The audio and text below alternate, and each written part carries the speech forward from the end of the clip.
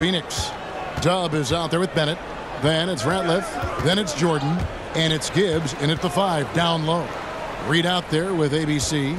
And there's Hodges. And it's Munoz in at the two spot. Here's Hodges.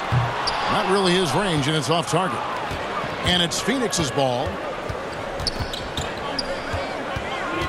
Outside Jordan.